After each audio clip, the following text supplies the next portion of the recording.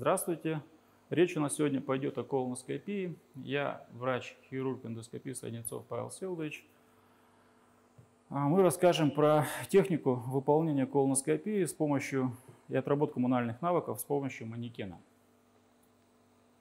Значит, манекен имеет в своем составе кишку, выполненную из мягкой резины, 6 схем, а в зависимости от степени сложности и от ситуации, которую он позволяет смоделировать. Это такие, как долиха сигма, прямая альфа-петля, обратная альфа-петля, подвешенная альфа-петля с помощью тяги, а, подвешенная долиха сигма закрепленная. Ну и первая, вторая схема это стандартная укороченная как бы, сигма. А с чем испытывают основную проблему врачи-эндоскописты, выполняя колоноскопическое исследование? Это с неумением собрать сигмовидную кишку, а, так сказать, сборить.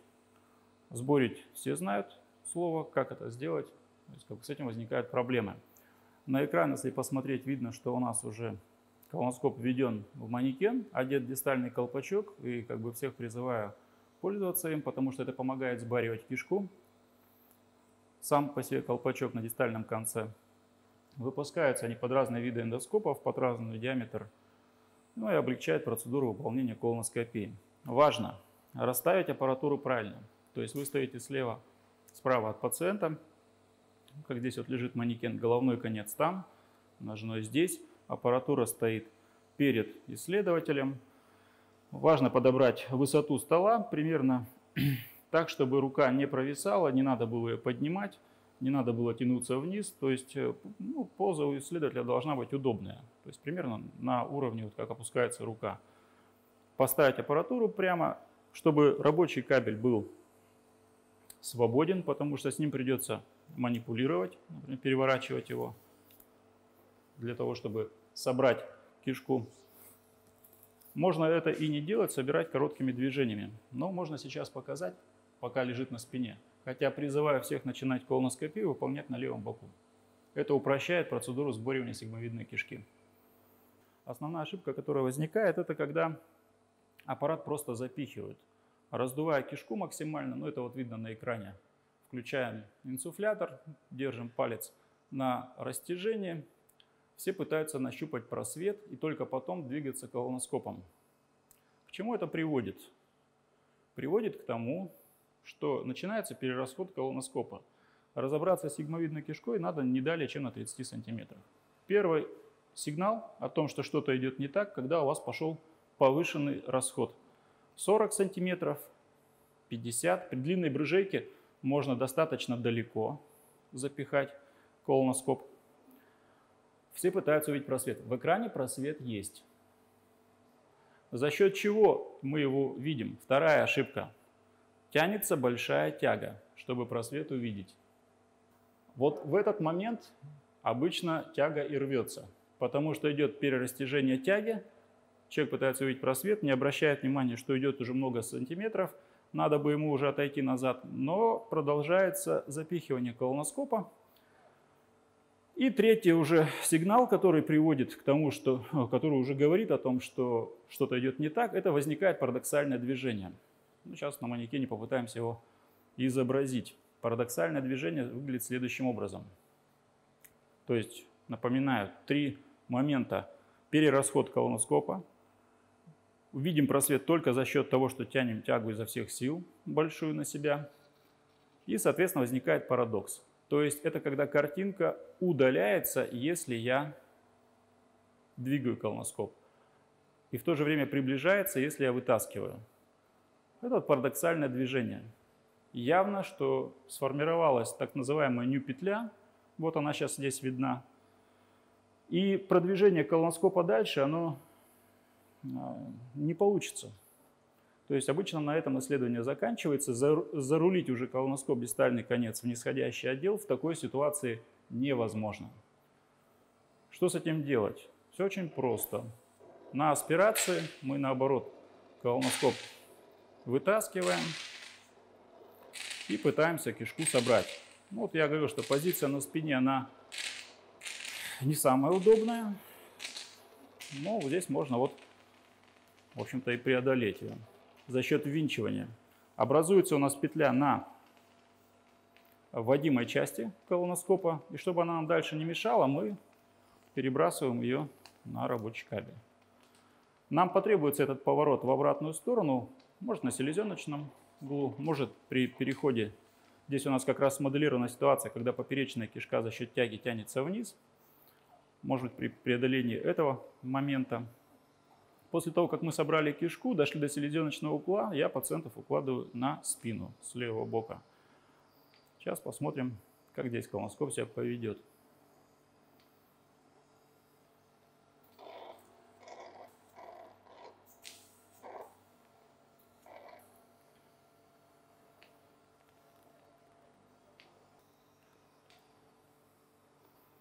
Ну, здесь можно воспользоваться ротацией колоноскопа в обратную сторону для того, чтобы преодолеть печеночный угол. Когда мы дошли до печеночного угла, вот мы сейчас в нем стоим, уже у нас виден купол слепой кишки.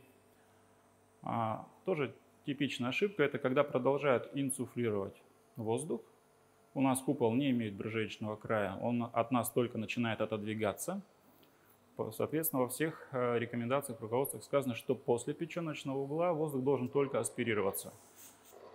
Ну и, соответственно, вот мы преодолели, можем колоноскоп, в принципе, не трогать, можем его развернуть. Развернуть его можно следующим образом. Для того, чтобы винчивающим движением преодолеть печеночный изгиб. Ну вот, купол слепой кишки. Расстояние у нас 75 сантиметров. Манекен максимально отображает ситуацию с человеком.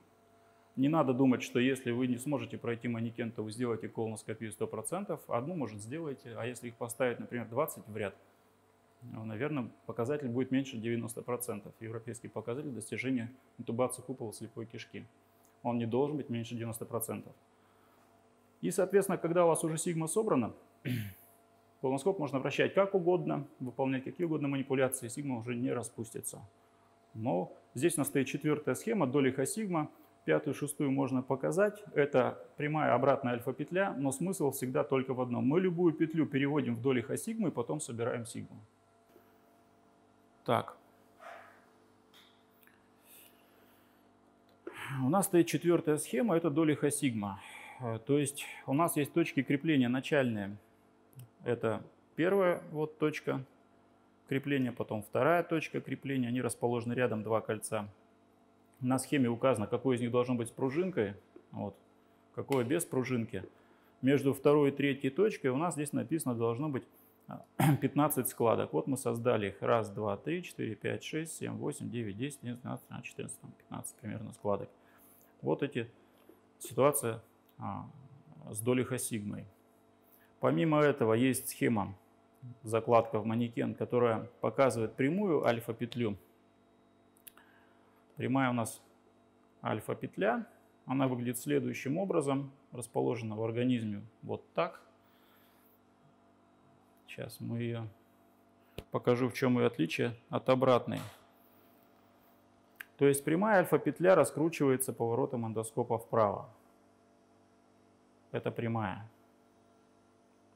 То есть нависающая часть идет впереди ректосигмоидного перехода. А обратная альфа-петля, она у нас выглядит следующим образом.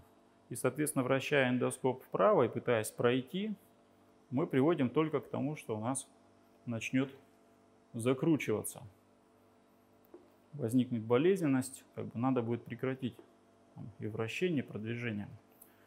Ну и вот, соответственно, вот у нас прямая альфа-петля. Сейчас мы покажем как надо ее преодолеть с помощью эндоскопа. Почему именно так, а не иначе. Соответственно, вот у нас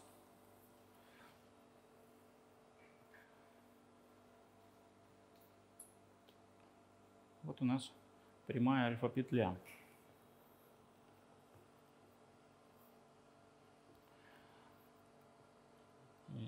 То есть у нас в данном случае скоб зашел, мы это видим, и нам надо его повернуть вправо, чтобы петлю прямую перевести вдоль хасигму.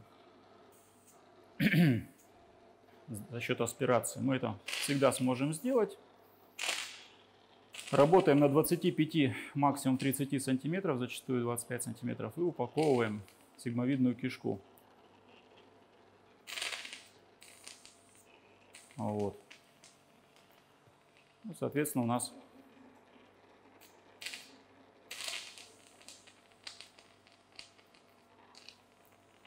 Пользуемся тягами мы совсем немного для того, чтобы пройти, выполнить колоноскопию. Отклонение тяг должно быть минимальное, примерно 15-20 градусов. Малой тягой подруливаем, например, в сложном моменте в повороте, вот в таком, ну, как бы заходим.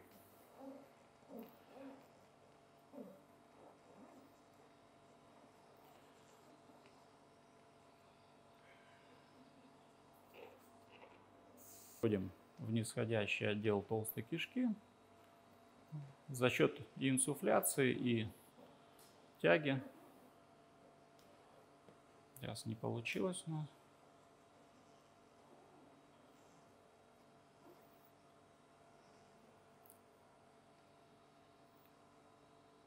Манекен позволяет контролировать ситуацию, как это выглядит в животе. Перебрасываем эндоскоп.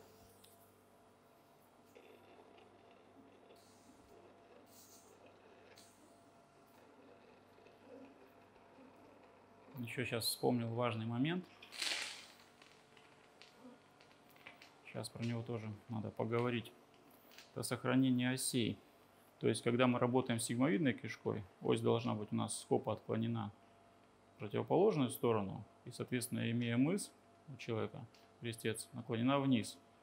Работать эндоскопом сигмовидной кишкой в таком направлении не получится. То есть управляемость дистального конца будет минимальной.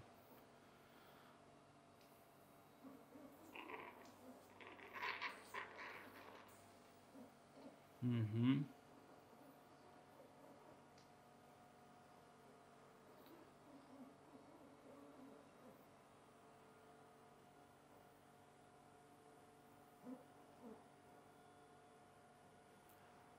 Инсуфляцию можно было бы прибавить, но вот здесь уже отклоняем немножко от себя большую тягу. Ну вот преодолели, прошли так сказать, прямую альфа-петлю.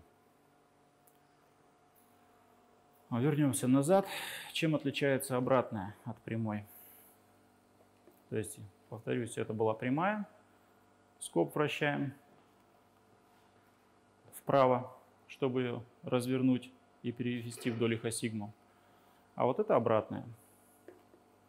По-другому расположена. К чему приведет вращение эндоскопа здесь? Вправо. Ну, то есть мы помним, что у нас у человека как бы все закрыто, исследователь не видит, он точно не знает достоверных признаков определить, по крайней мере, я не знаю, но пытается видеть просвет. Соответственно, он заходит, заходит, начинает вращать эту петлю, и по идее она начинает только закручиваться. Вот это обратная. Она требует вращения а, эндоскопа влево. То есть вот таким способом. Ну, опять же, вот она перевелась вдоль ихосигму. Дальше на аспирации мы ее собираем, начинаем работать на 25 сантиметрах, и, в принципе, ситуация повторяется. Не вращается эндоскоп вправо, значит, скорее надо попробовать покрутить его, повернуть влево. Обратная альфа-петля встречается гораздо реже, но встречается.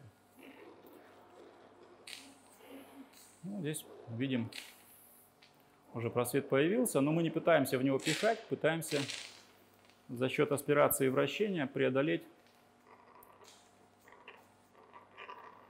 вот эту вот ситуацию. Не надо тянуть тяги, не надо пытаться грубо пихать эндоскоп, только за счет аспирации, вытягивания и поворота эндоскопа вправо расправляем кишку. Ну, ситуация победилась. То есть ситуация следующая. Есть у манекена, так сказать, специальная нога, которая позволяет его удерживать в боковом положении. Это сделано не зря, потому что боковое положение для прохождения сигмы наиболее оптимальное. За счет действия силы тяжести сигмовидная кишка расправля... расправляется вниз. Сейчас можно посмотреть, как она будет собираться небольшими легкими движениями и за счет наличия колпачка мы кишку подтягиваем. за счет аспирации. В этот момент э, и помощник-то особо не нужен с ручным пособием, потому что он, скорее всего, будет только мешать. Максимум, что можно его попросить, это, если есть помощник, придержать правую подвздошную область, чтобы кишка не отклонялась вверх. Но если исследователь помнит о том, что надо соблюдать оси, о том, что она должна направлена быть вот так, то обычно проблем не возникает. Вот. Ну, попытаемся сейчас ее сложить. Небольшое отклонение дистального конца эндоскопа за счет большого винта необходимо для того, чтобы он работал как вязальный крючок, нанизывал на себя петли.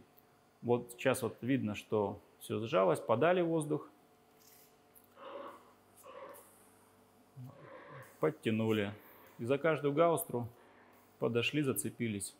Если колпачка дистального нет, мы всегда, вращая скоб вправо, не отпускаем его назад влево, иначе кишка распрямится. Мы всегда, поворачивая чуть-чуть на 15-20 градусов и подтягивая, придаем, как раз вот собираем петлю здесь. Почему у нас собирается петля здесь?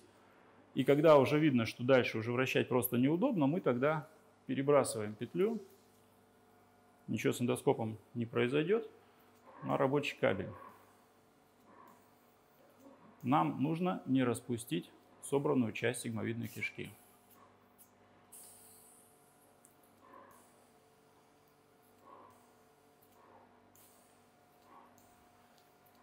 Манекен позволяет досконально отточить навыки сбаривания сигмовидной кишки. И на этом 99% проблем заканчивается.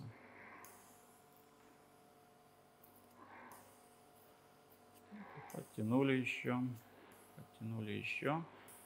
Возникнет необходимость, можно еще одну петлю перебросить. И, как я это называю, эндоскоп сам просится переброситься. То есть я просто аккуратно двигая, слежу, чего хочет эндоскоп. То есть я его и не пихаю, и тягу к нему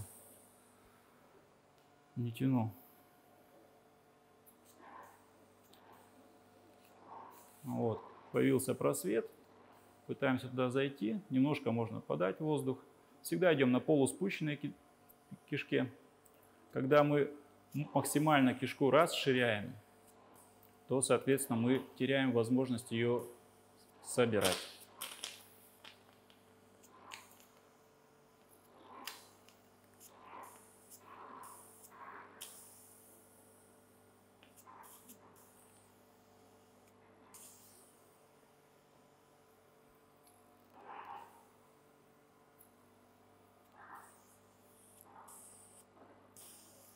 Не устремляемся, собираем, собираем. Ну вот, наверное, она уже собралась. Да, дошли до селезеночного угла. Дальше мы ногу отсоединяем, поворачиваем манекен, ну, поворачиваем человека, потому что при левом, левой позиции селезеночный угол становится зажатым, пройти его бывает сложно. И проходим дальше. Вот у нас сигма собрана Здесь уже можно поинсуфлировать. Периодически меняем инсуфляцию, аспирацию. Вот так вот преодолеваем. Ну, учитывая, что у нас здесь тяга, показывал, как проходить. Есть э, схемы без тяг. Сейчас можно ее отсоединить. И если у нас какой-то